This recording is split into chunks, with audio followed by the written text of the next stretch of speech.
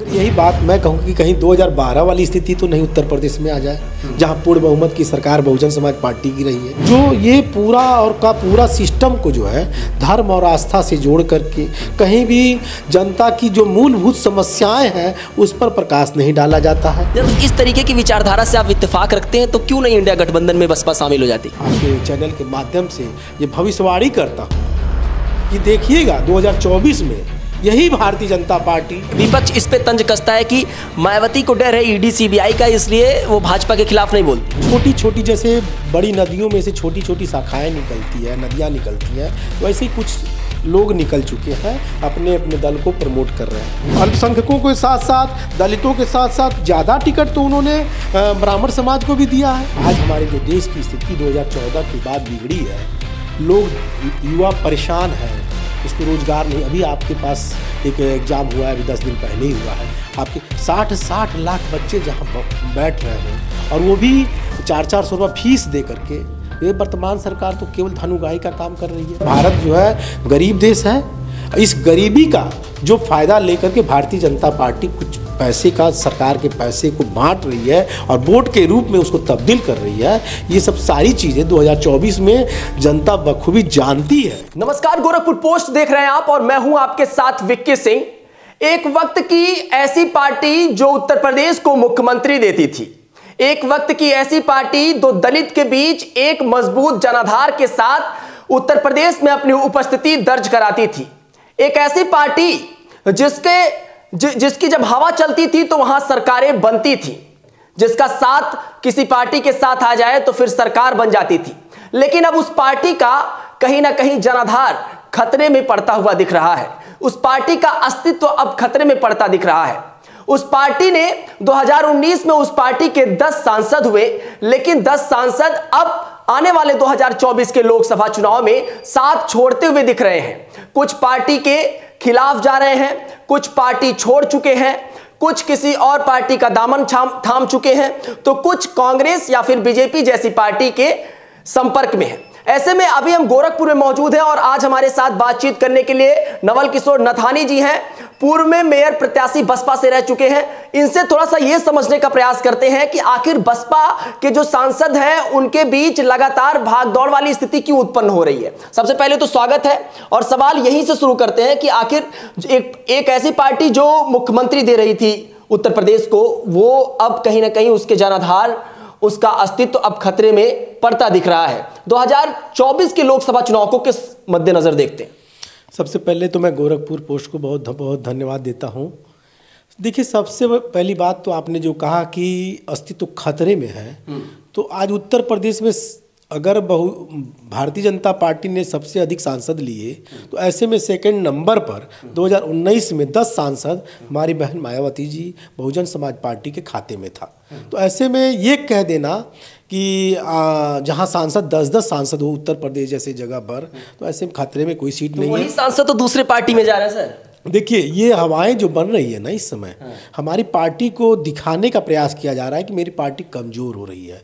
मेरी पार्टी कहीं भी कमज़ोर नहीं है। आज भी देखिए, विपक्ष जो भी है, आज भी हमारी पार्टी को ललायत नज़रों से क्यों देख रहा है? अगर मेरी पार्टी कमज़ोर है तो वो अपना प्रत्याशी उतार करके पूरा घोषणा कर दे हो रहे पूरे हिंदुस्तान में। क्यों? 2014 वाली स्थिति कहीं फिर ना 2024 में दोहराई जाए क्योंकि एक भी सीट 2014 में आई नहीं थी। 2019 में सपा का साथ मिला 10 सीटें आपको मिली हालाँकि बस सपा को थोड़ी कम सीटें मिली लेकिन सपा का साथ 2019 में था इसलिए जनाधार थोड़ा और मज़बूत था। इस बार न सपा के साथ गठबंधन न कांग्रेस के साथ गठबंधन न इंडिया गठबंधन से जुड़ाओ तो फिर आखिर किस तरीके की राजनीति बसपा करना चाह रही है? अब जैसे आपने कहा 2014 की स्थिति नहीं आ जाए अब बताइए मैं अगर यही बात मैं कहूँ कि कहीं 2012 वाली स्थिति तो नहीं उत्तर प्रदेश में आ जाए जहाँ पूर्ण बहुमत की सरकार बहुजन समाज पार्टी की रही है। यही स्थिति मैं बार बार यही कहना चाह रहा हूँ कि बहुजन समाज पार्टी को लोग हल्के में आंक रहे हैं ये हल्की पार्टी नहीं है ये एक मिशन है। ये समय समय पर दलितों, अल्पसंख्यकों, पिछड़ों सभी की आवाज़ को बुलंद करता है, संविधान को लेकर के चलता है। लेकिन वर्तमान में जो सरकारें हैं, जो ये पूरा और का पूरा सिस्टम को जो है, धर्म और आस्था से जोड़ करके, कहीं भी जनता की जो मूलभूत समस्याएँ हैं, उस पर प्रकाश नहीं डाला जाता है। उस पर नहीं बताया जाता है कि युवाओं को क्या चाहिए, व्यापारियों की क्या समस्याएँ हैं, महिलाओं को किचन सस्ता है कि महँगा है, किसान दिल्ली जा कर के बॉर्डर पे धरना प्रदर्शन कर रहे हैं। इन सब चीज़ों से जनता पब्लिक का ध्यान भटका रही है। और हमारी पार्टी को जो हमारी पार्टी ज, ज़मीन से ही मज़बूत है। उसका बेस वोटर है। उसके बाद वो सभी वर्गों को लेके चलती है। ऐसे में हमारी पार्टी को हल्का आंकना ये सोची समझी चाल है उन लोगों की। आज भी सारी पार्टियाँ, बहुजन समाज पार्टी, हमारी नेता, बहन मायावती जी को ललायत नज़रों से देख रही है कि वो हमारे पक्ष में आ जाए। क्यों देख रही है? दो आपको एक चीज़ करेक्ट कर, दूँ 2012 में अखिलेश की सरकार थी 2017 में पूर्ण बहुमत के साथ बसपा आई थी। तो एक चीज़ ये आपको करेक्ट करना चाहूँगा, दूसरी चीज़ आपको मैं ये बताऊँ कि 2007 में जब बसपा की सरकार आई थी तो बहुजन हिताय वाला नारा नहीं था, सर्वजन हिताय वाला नारा था। और उस नारे के तहत बसपा जो है सरकार में आई थी। अब वो जिस तरीके से वो जनाधार शुरू हुआ, उसके बाद धीरे धीरे वोट ग्राफ में जो है कमी आनी शुरू हुई। अब जो है वोट ग्राफ बहुत नीचे गिर चुका है बसपा का। गुड्डू जमाली जैसे, गुड्डू जमाली जैसे नेता जो है बसपा का साथ अभी कल परसों में छोड़ दिए। एक बड़े नेता थे, क्या लगता है कि इससे जो पार्टी जो है कमज़ोर होती दिखेगी 2024 के चुनाव नहीं, हमारे प्रत्याशियों से हमारी बहुजन समाज पार्टी को कोई फ़र्क नहीं पड़ता है। बहुजन समाज पार्टी अपने आप में बहुत मज़बूत पार्टी है और बहन मायावती जी जिसको भी टिकट दे देंगी, जनता उसको पसंद करेगी और उसको जिता करके सदन में भेजने का काम करेगी। ये भूल जाइए कि आज आज आप खुद देखिए ना भारतीय जनता पार्टी तमाम सांसदों को अपनी तरफ़ खींच रही है। जब आप मज़बूत है तो खींचने का प्रयास क्यों कर रहे हैं? आप चुनाव में देख लीजिए हर चुनाव में देख लीजिए। अच्छा ये ये विचारधारा कहीं ना कहीं कांग्रेस कांग्रेस ने भी इसी तरीके का बयान दिया, सपा ने इस तरीके का बयान दिया मतलब इंडिया गठबंधन जो मिला हुआ है, वो कुछ इसी तरीके का बयान दे रहा है। जब इस तरीके की विचारधारा से आप इतफाक रखते हैं तो क्यों नहीं इंडिया गठबंधन में बसपा शामिल हो जाती? नहीं, हम अपने आप में मज़बूत हैं। आप एक भी उदाहरण दीजिए कि किसी सांसद को तोड़ करके बहुजन समाज पार्टी में लाया गया हो, या बहन जी का दबाव पड़ा हो तो मेरी पार्टी में आ जाओ। इस समय स्थिति ये है कि सभी लोग अपने अपने स्थान को तलाश रहे हैं और बहन मायावती जी को कोई फ़र्क नहीं पड़ता है, क्योंकि वो जनता के मिशन को लेकर चल रही है। उनका एक ही उद्देश्य है कि हमारी जनता कैसे खुश रहे, हमारे जनता की जो मूलभूत समस्याएँ हैं उसी मिशन को लेकर के उन्होंने पूर्व में भी चार बार मुख्यमंत्री कार्यकाल कार्यकाल को बनाया है और जनता ने देखा है कि बहन जी के कार्यकाल में जनता कितनी अमन चैन के साथ रही है। और आज 2024 में वही स्थिति, संविधान जो हम लोगों को मिला हुआ है, उस संविधान की बात नहीं की जा रही है। जनता के दिमाग को भटका करके दूसरे दिशा में मोड़ा जा रहा है। उसी बात को हम बहुजन समाज पार्टी के लोग जनता तक रखेंगे और निश्चित रूप से आप देखिएगा 2024 में एक ऐसा आंकड़ा प्रस्तुत होने जा रहा है जिसमें बिना बहन जी की सरकार बनने में नहीं मिलेगी और प्रधानमंत्री, जैसे आपने पिछली वही उत्तर प्रदेश के चार बार के कार्यकाल को आपने देखा है कि उसमें कहीं ना कहीं सत्ता पार्टी जो अभी वर्तमान में है, भारतीय जनता पार्टी, उसने समर्थन दिया था। चार बार में समर्थन दे करके बहन जी को मुख्यमंत्री बनाया था। तो आज स्थिति वही आने वाली है। 2024 में मैं आपके इस गोरखपुर पोस्ट के, आपके चैनल के माध्यम से ये भविष्यवाणी करता हूँ कि देखिएगा 2024 में यही भारतीय जनता पार्टी हमारे इतने सांसद तैयार हो जाएँगे कि ये समर्थन दे करके हमारी बहन मायावती जी को प्रधानमंत्री बनाएँगे। अच्छा। अच्छा एक चीज़ और बताइए कि भाजपा से और कहीं ना कहीं मायावती के बीच जो है, मायावती ना केवल बसपा बल्कि मायावती भी लगातार जो भाजपा के विरुद्ध तमाम जो पार्टियाँ, विपक्षी पार्टियाँ हैं, वो लगातार कटाक्ष करती हैं। लेकिन मायावती और बसपा जो है, इस पर एक सॉफ्ट कॉर्नर लेकर चल रही है। इसका क्या एक चीज़ें हो सकती हैं, परसेप्शन हो सकता है? ये तो अच्छी बात है ना। हम कहते हैं कि हम आपको क्यों बार बार हम आपके उंगली दिखावें, आपकी कमियों को गिनावें? आप अपनी राजनीति कर रहे हैं हम एक मिशन के तहत अपनी राजनीति कर रहे हैं। विपक्ष इस पे विपक्ष इस पे तंज कसता है कि मायावती को डर है ईडी सीबीआई का इसलिए वो भाजपा के खिलाफ नहीं बोलती। नहीं कहीं कोई ईडी सीबीआई नहीं है। हाँ। बहुजन समाज पार्टी अपने तमाम नेताओं के ऊपर ईडी सीबीआई की लगातार रेड और जाँच और नोटिस भेजा जा रहा है। देखिए अखिलेश यादव के ऊपर भी भेज दिया गया। 2019 में एफआईआर दर्ज हुई थी। अब दिल्ली से जो है नोटिस आया है। तो आप ये बताइए कि ये कहीं ना कहीं तो डर नहीं है मायावती के अंदर कि ईडी सीबीआई का नोटिस या फिर किसी तरीके की कुछ चीज़ें हो जाएँ?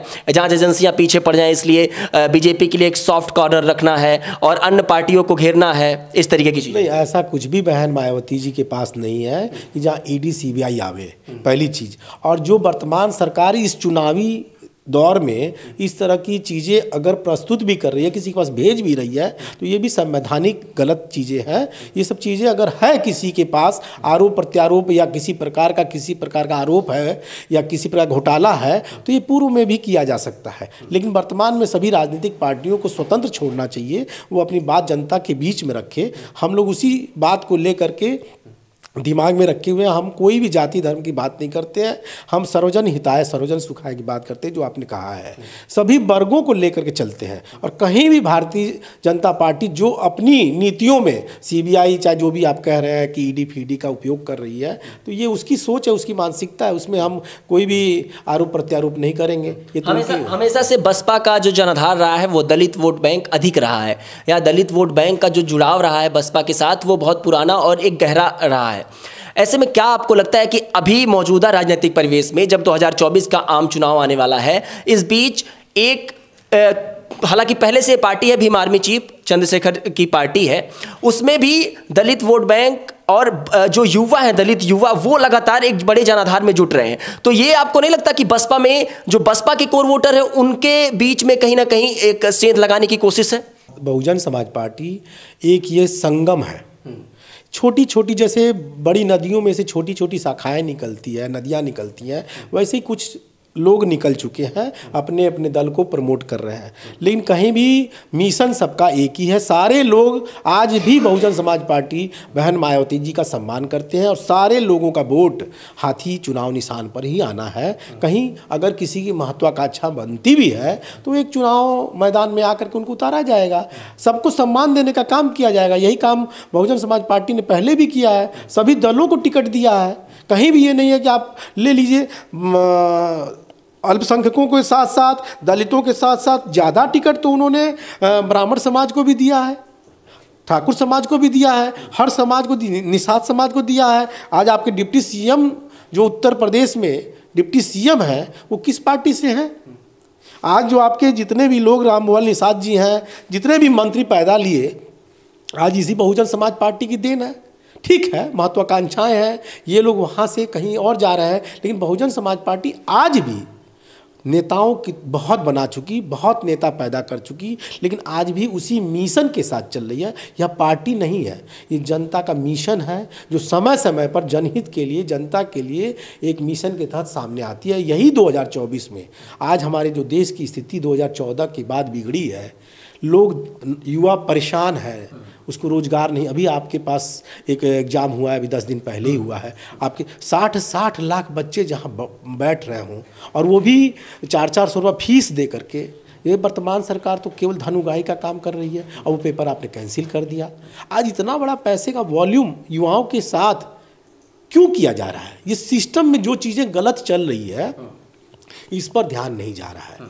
इस पर ध्यान जाना चाहिए। वर्तमान सरकार ये जितनी भी चीज़ें हैं ये चुनाव मैदान में हमारी पार्टी सामने जनता के सामने रखेगी युवाओं सारे मुद्दे जो है सारे चौबीस में आएँगे आएँगे सारे मुद्दे आएँगे। आज हमारा जो महिलाओं का किचन महँगा हो रखा है महिलाएँ आंगनवाड़ी महिलाएँ जो परेशान है ये छः हज़ार चार हज़ार आठ हज़ार रुपये होता क्या है?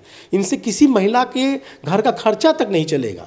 ये केवल व केवल ये राजनीति पार्टी जो है, कुछ पैसे बांट करके, राशन को बांट करके, ये पाँच किलो राशन में एक परिवार में क्या होता है, आप समझ सकते हैं। लेकिन कुछ न कुछ हमारा हिंदुस्तान जो है, भारत जो है, गरीब देश है।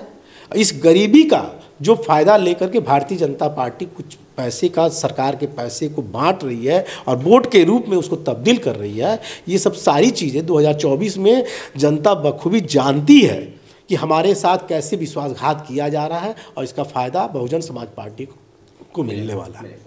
हमारे साथ नवल किशोर नथानी जी थे बसपा से, और ये जानना हम ज़रूरी समझे कि जिस तरीके से बसपा में एक बड़ा उलटफेर देखा जा रहा है, एक भागदौड़ वाली स्थिति देखी जा रही है, जो दस सांसद हैं, वो लगातार पार्टी छोड़ने की कवायद में है, संपर्क में दूसरे पार्टियों के हैं। तो ये समझना बेहद दिलचस्प है कि आने वाले लोकसभा चुनाव को, चुनाव से पहले, आम चुनाव से पहले क्या कुछ रूपरेखा उत्तर प्रदेश की बनती है? क्योंकि ये कहा जाता है कि उत्तर प्रदेश की राजनीति से ही दिल्ली और केंद्र की राजनीति का रास्ता तय होता है।